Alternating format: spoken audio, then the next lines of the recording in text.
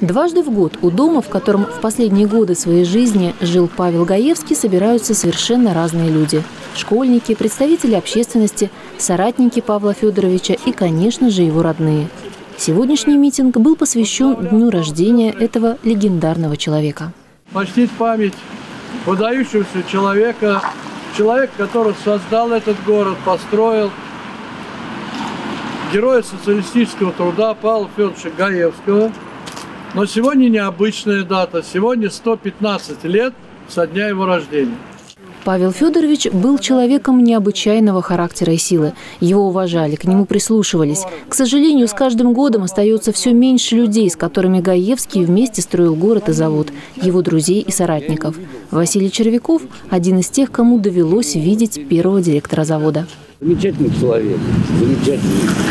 Э, как руководитель, как человек, отзывчивый.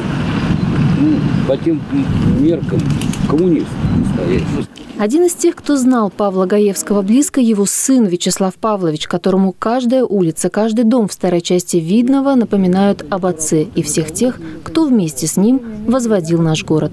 Вы пройдете по нашему городу, по старой части города, пройдете по заводской, по радиальной, по школьной, по всем улицам нашего замечательного города.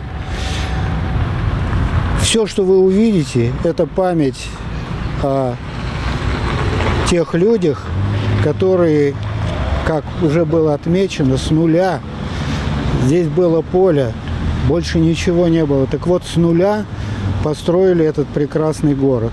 А после все участники митинга возложили к памятной доске цветы, как благодарность потомков за все то доброе и светлое, что было создано в годы жизни Павла Федоровича Гаевского.